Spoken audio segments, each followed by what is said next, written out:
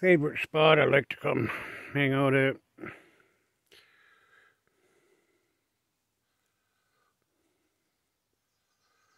It's a neat little area up on a ledge.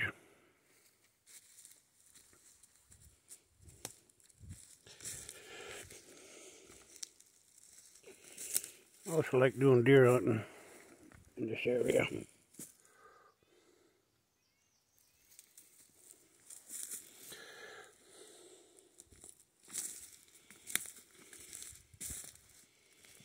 There's me bucket. Hunt. Down in that valley down there. Can't see much of it. You know, this is all clear cut. Look at how much it grows back.